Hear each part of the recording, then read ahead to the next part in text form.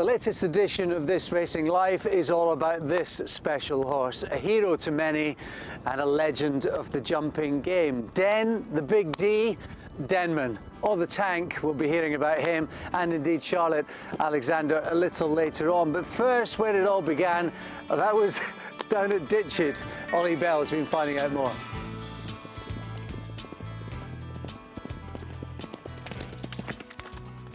Uh, Paul, we're just reflecting on the career, the life and times of Denman, if you like. And obviously you played such a, an important part, an integral part into his career. Uh, if we can just take it back to the start, when did you first come across Denman?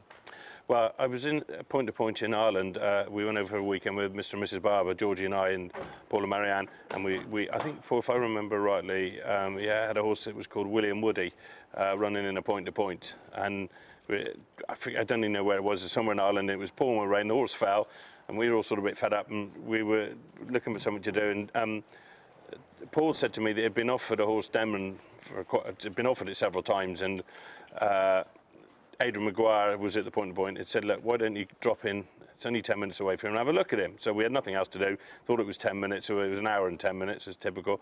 Um, and went to see Denman. I didn't know anything about the form or anything of what he'd done. Bar, Mr. Barber said he'd, he'd won his only point to point and he'd been hobdayed. And a couple of people had already looked at him, but didn't want him because he'd been hobdayed. And I just said, well, that won't matter because that'll save you a thousand pound having it done in two years' time because most of them end up being hobdayed. And didn't think any more of it. We got to Adrian's and I remember now he opened the door and pulled out this big, gorgeous horse. And I thought, wow, like him. Um, and Paul and I looked at each other and I said to Paul, I'll have him. He said, no, he won't. I'll have him. and Paul just said then and there, yeah, he, he, he loved him. As long as I liked him, he'd buy him. And we agreed to deal with Adrian and went down, had a cup of tea and saw the video of him winning and that was even more impressive. He sort of did it ass about face really, but he was just such a super individual, what I call my type of horse and Paul's type of horse as well, that we bought him. And what is that? What What is your type well, of horse? Paul always said he likes a big scopy horse that carry 12 stone and run in the Gold Cup one day. There was this huge big horse. It was obviously going to carry 12 stone. Might have been useless for all we know, but he was just a proper horse. He came back here and was it immediate that that sort of striking appearance, that point-to-point -point form clicked or, or did it no, take it was a while? Interesting. He, he took a he was out in the field in the summer and got fat as a pig, came in like they do in the middle of July and was big and lazy, which he always was. He was very lazy around the roads, actually. Had to boot him around the roads. He was one of those horses that was either flat out on the gallops or was lazy anything around the roads. And he didn't show a lot at home, to be honest with you. He, he, was, he, he took a while to get fit. Um, he was lazy jumping, lazy everything, but was a lovely big type of horse. And I remember having a conversation with Paul several times.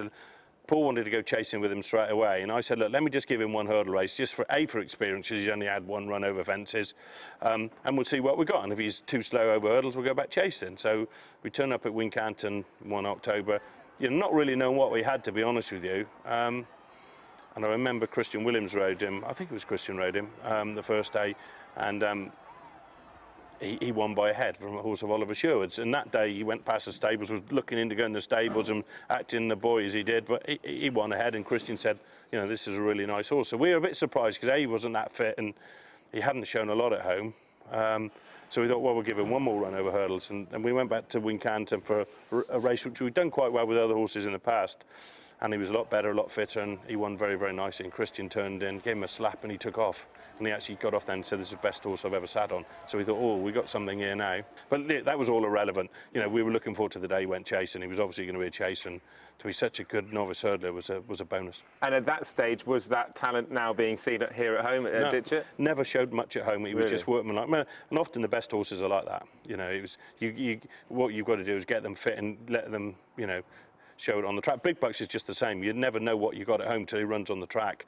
Um, and Neptune Collonges was another one like it. The only one who was absolutely awesome horse working on uh, on the track and at home was Kauto. Um, a lot of the others don't show you much at home. So you, you know, if you know that, you just get all you got to do is get them fit. And that's interesting because you had Kauto and Denman boxed mm. next to each other, both incredibly mm. talented. Yeah. Did you always think that Denman would reach the heights of Kauto? Did you always think that they would be there would be that era that we all talk about as the Denman? No, not really. Era? I was lucky to have them both, and you know, in the early days, Kauto was obviously winning Tingle Creeks and over shorter distances. Was Denman was a stayer, but eventually Kauto was getting the trip. There was going to be a clash with them.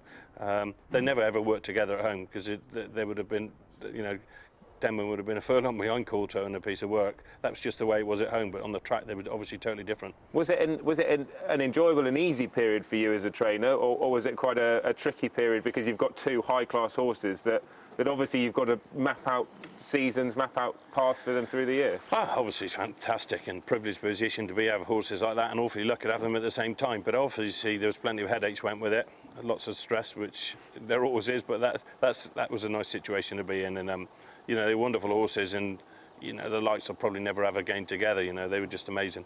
Have you been to see him recently? You, no, I haven't recently. Um, obviously, um, I keep updated all the time. Charlotte's always emailing me, and uh, and and Paul, and we keep an eye on, on what's going on. I'm looking forward to seeing him at Newbury. Um, he, obviously, he's had lots of problems. Uh, it's been well documented, and obviously, for a while we kept it quiet because we didn't want to panic anyone. And he was in a bad way all summer. And, you know, Paul has done a sterling job. Uh, giving him the best of everything. Didn't matter what it cost, Denman was having the best of everything. And I know Paul had some huge bills just to keep him right and keep him alive. And he, he, he, Paul deserves a lot of credit for what he's done, and so does Charlotte. And it's fantastic he's now got over that and is, is looking, looking, looking okay again. Well, Ollie also managed to catch up with Clifford Baker.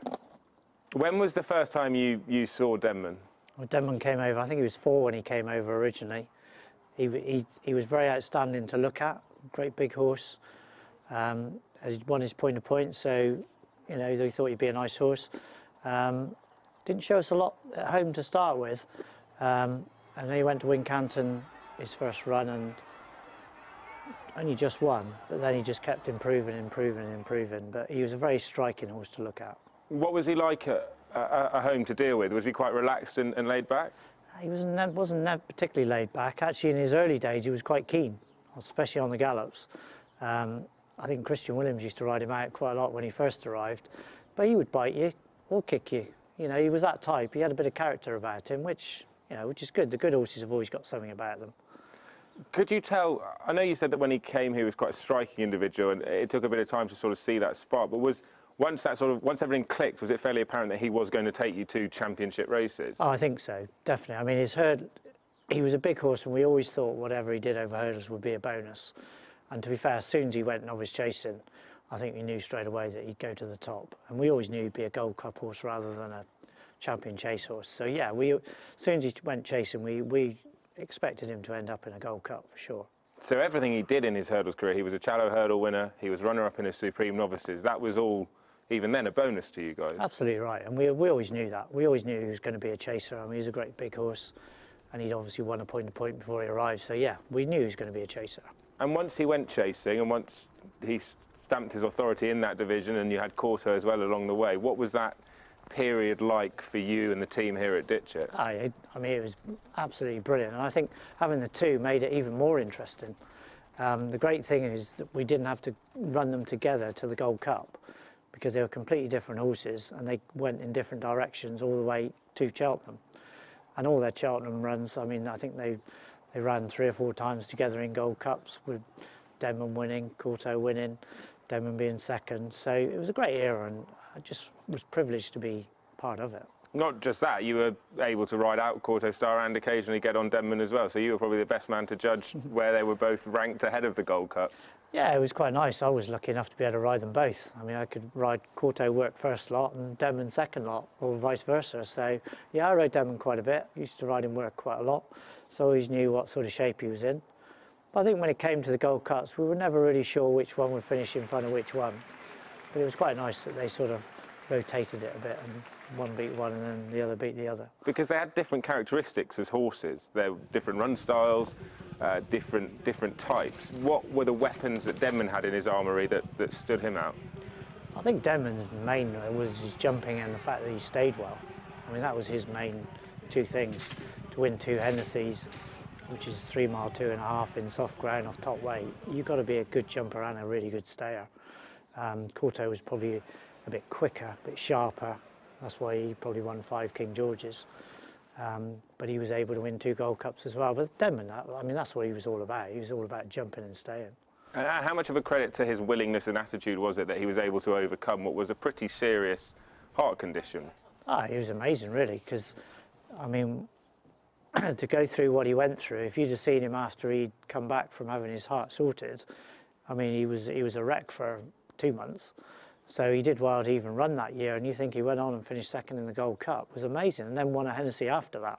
So uh, I mean, that shows how tough he was as well. Of all his performances, what to you was the one that stood out? I think you'd probably say the Gold Cup, but to be fair, it's probably one of his best performances was winning the Hennessy the second time after his heart problem, off top, off a big, big weight, off a big handicap mark. That was probably his best performance ever. And when a horse like Denman, when a horse like Kauto leaves the yard, how much of a, of a hole does it leave in, in the stable? Oh, it leaves a big hole, of course it does. Um, Denman and Kauto basically more or less left at the same time within reason. So you, you're sort of having a double hole sort of thing. But yeah, we, we, we knew obviously one day that they would go on to do other things.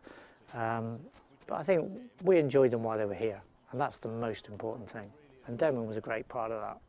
How would you sum him up in five words? Uh, he was a superstar. Well, Ollie also managed to catch up with Lucinda Gould. Lucinda, you were an important part of Denman's life. You looked after him for a long time. When did you first get given the job of looking after the mighty Denman? Um, I took him on actually after he won the Cheltenham Gold Cup. Um, so 2008, that would have been in when he came back in in July. Um, yeah, he, the Jess who used to look after him, she had finished that season to have a baby. So um, when Paul and Clifford asked me to look after him, I was quite gobsmacked. So it was a, a huge honour, but and a massive pleasure. Is it quite intimidating as a, a lass being told you're looking after the Gold Cup? I guess in a way, yeah, particularly with his size and his uh, reputation as a bit of a brute, but actually he couldn't have been more, more of a gent. So. What was he like to deal with on a day-to-day basis? I mean, he, he could make grumpy old faces and swish his tail and snap his teeth, but he knew, he knew where the line was, I always think, and if he ever did connect, he always knew he'd done it, and you know, he didn't really need too much telling off. He was, he was a good guy, really. He was just a bit of a bit of a playboy. But he had a bit of boy in him. Oh yes, definitely, definitely, definitely. Did you ride him out as well? No, he was a bit a bit strong for me. So um, Donna rode him out a lot, particularly before his um, second Hennessy winner, and um, yeah, um, Nick Child, who used to look after Kauto Star, he rode him a bit, and Harry Skelton, he was here as well. So, yeah. When you're a, when you're a lass in, the, in a yard, how close is the bond that you develop with the horses you look I think after? it's very close. You have to try and not let yourself get too close because obviously they're not your horses, but you know you deal with them on a day-to-day basis and you see their good days and their bad days, and and you, of course you you develop a really strong bond with them. So yeah, it's um it's quite you get quite close to them in the end.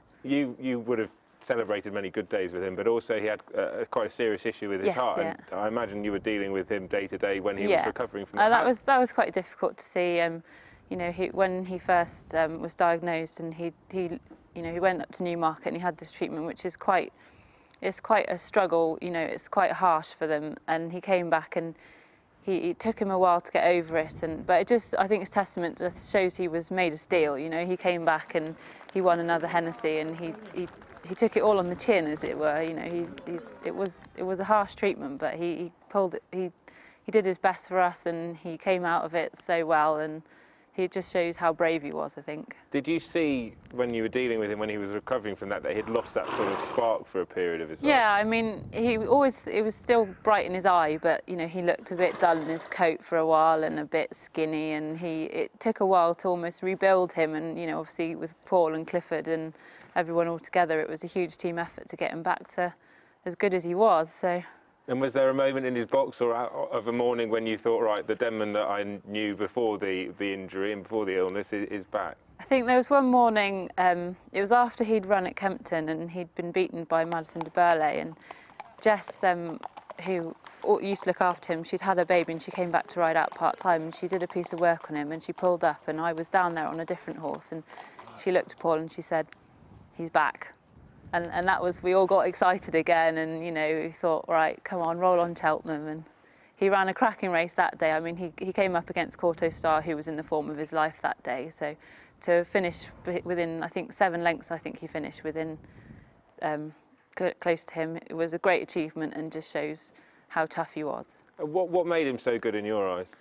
I think it was just his sheer gutsiness. He never knew when to give up, and he, he'd give it, he'd give his all for you and it was just it was a joy to watch him gallop and jump and just eat up the fences and eat up the ground and he just he knew how to rise to the occasion as well he, he loved it at the festival and he was he'd, he'd get there and you know you'd feel him grow a bit as he walked into into the parade ring when there was when there was a huge crowd there. He loved it. He loved the attention. So I think that's what made him a real star. Is it is it hard when you, after a long period of time looking after a horse, when they go and into their retirement, which we, we hear is, is very happy for them, but is it tough to lose a horse like that? Y- y- It's mixed feelings. It's bittersweet. You know, he's enjoyed a you've enjoyed a great career with him, and he's had a.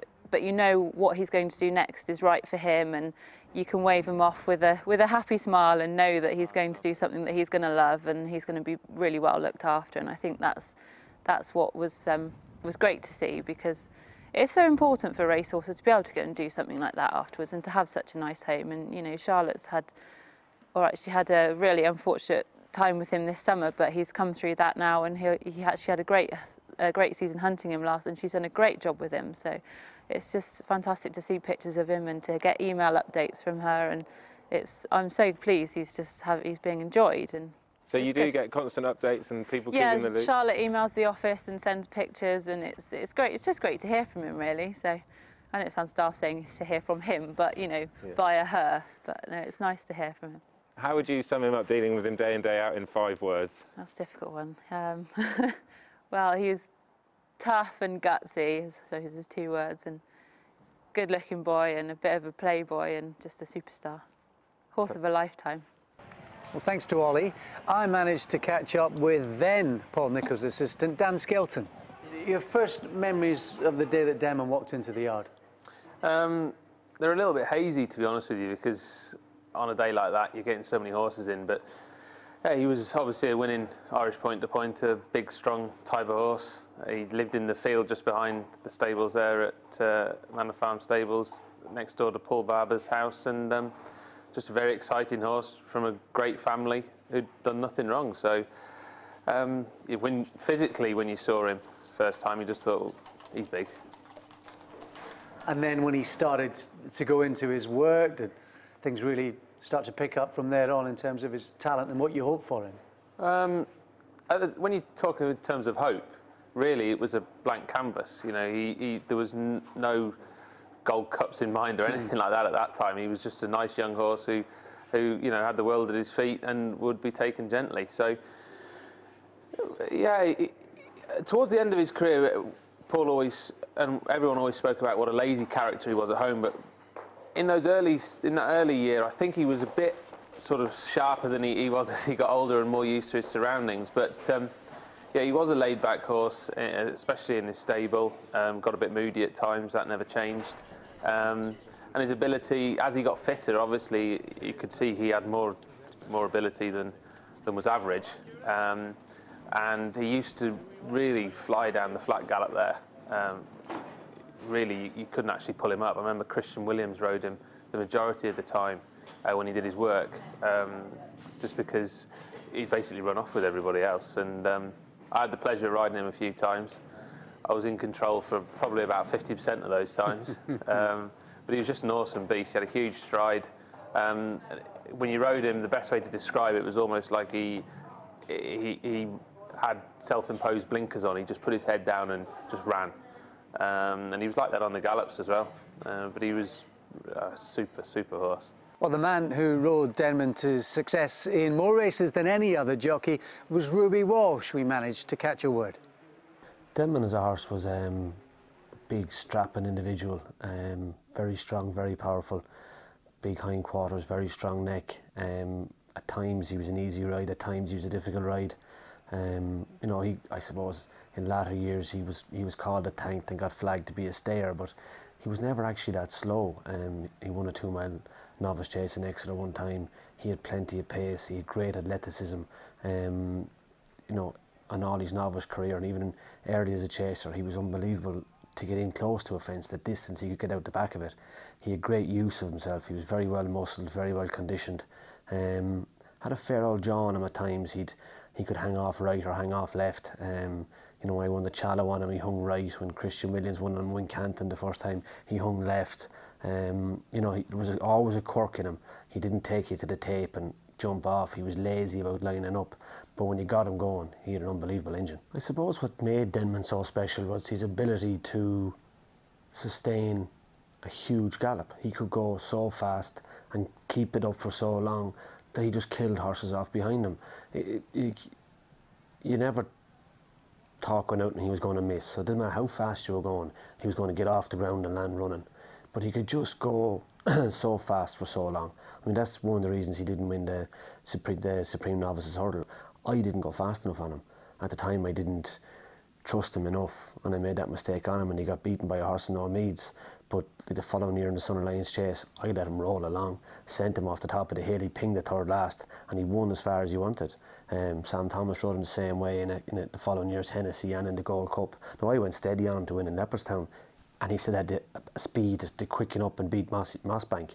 But um, his ability to just gallop and jump was phenomenal. For me, Denman's greatest performance, I didn't even ride him. it was his Gold Cup.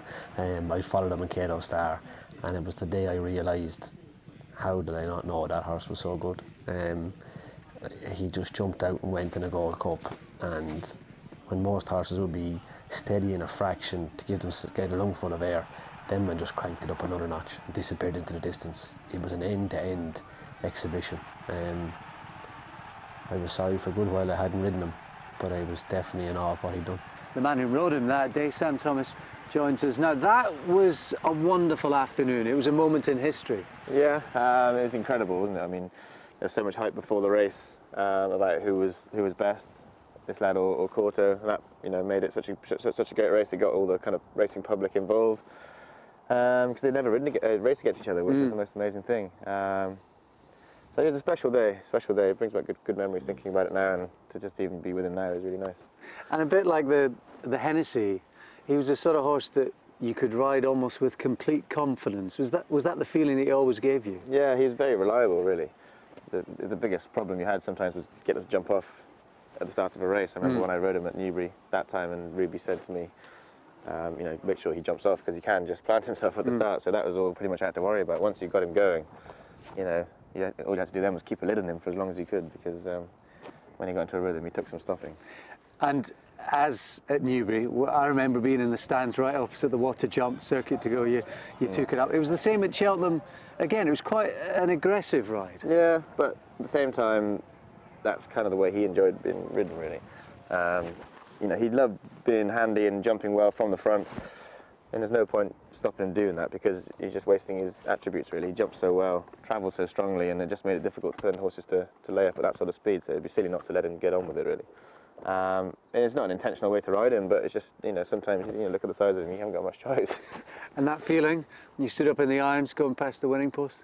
Um, but Newbury, I couldn't quite believe it really because he's the best horse I'd ever ridden really. Hmm. And it's difficult to kind of comprehend how a horse can win such a, a big race so easily, really. So I couldn't quite believe it. And then obviously, after having a bit more to do with him, you know, we really, really appreciated how good he was. And even at the Gold Cup, to be fair, you know, I still couldn't believe I'd won, even crossing the line. Really, it was uh, took a while to sink in. So um, yeah, fantastic memories, and I'm just so grateful I've had, yeah, you know, been able to be associated with the horse. What sort of character? Well, now he's pretty chilled out, really. But I remember, especially you know, when he was at his best and his peak fitness, he was so grumpy all the time. um, you know, you go and tack him up and you have to watch your fingers. Um, but, you know, he's just an ultimate professional, really. He's always got on with his work and I think he's really enjoying himself with Charlotte now and doing different things, messing around, and you can see how nice and chilled out he is now. So he's getting the retirement that he deserves. Charlotte, what was it like that first day when you got the phone call from Paul Nicholls?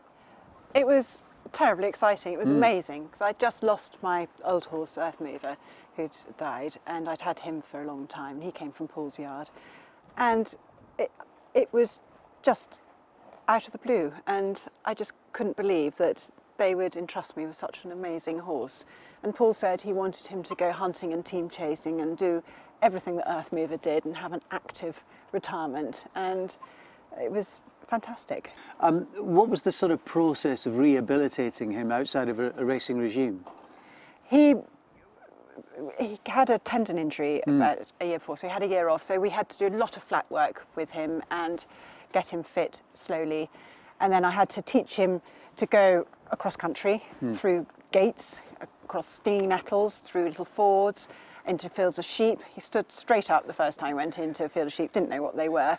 and, um, and he's learnt from there, then little hunt jumps and jumping around the farm. And he's come on so well, and it's just little bits at a time. And he then I took him hunting, and he absolutely loves hunting. He roared off with me the first time hmm. I had him. He is quite strong, and then he settled, and he is absolutely amazing. He's a proper hunter, and he jumps rails, walls, hedges. He's absolutely brilliant, and he'll be at the front, and he'll be showing the best of them.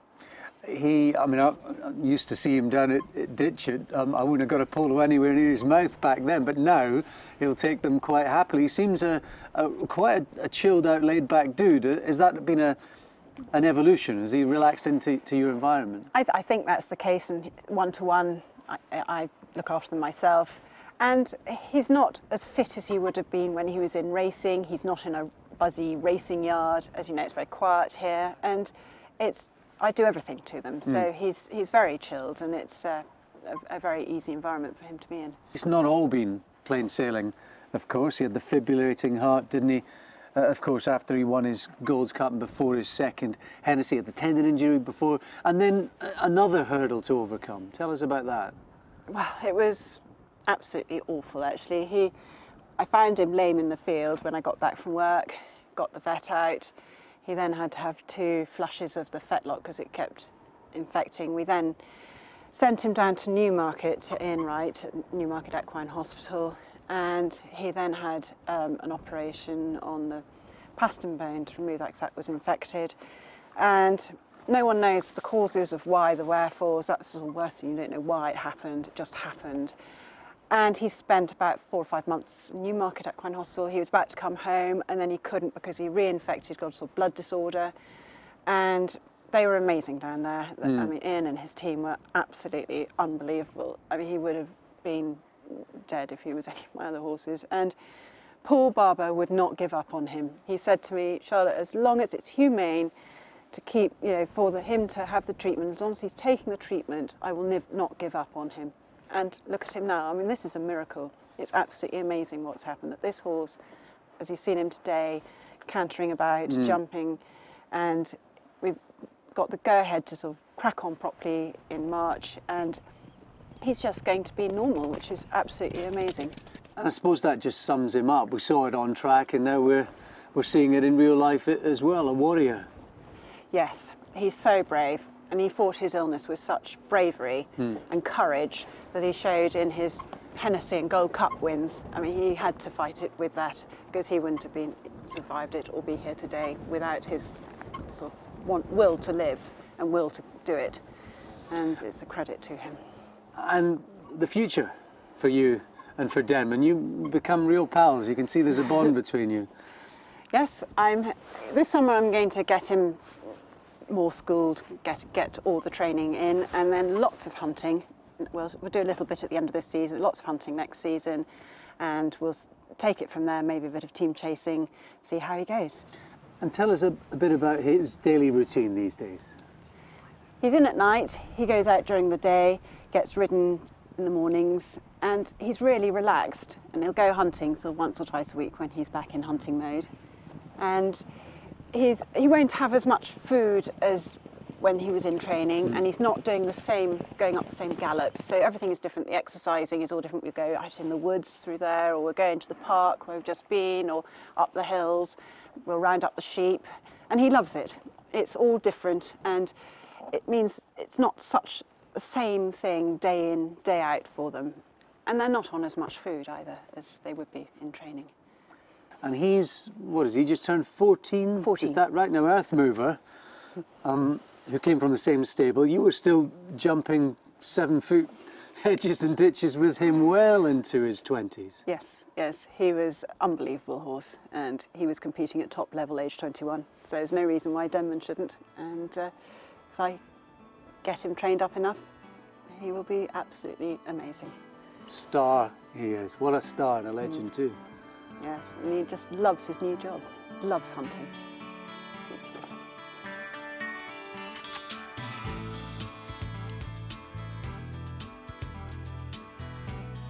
The big man's gone to bed. Denman's away to sleep, and it's time for us to hit the roads and hit the pillow as well. I hope you've enjoyed this Denman special on the latest edition of This Racing Life. Bye for now.